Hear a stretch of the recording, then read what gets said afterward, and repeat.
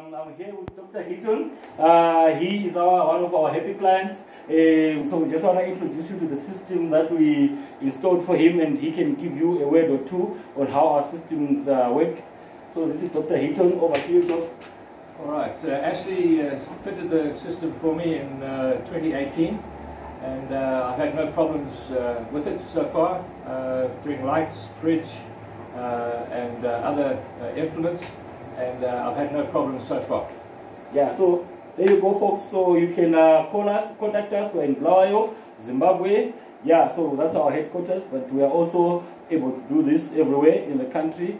We're hoping to also cross abroad to the uh, other African countries. Thank you.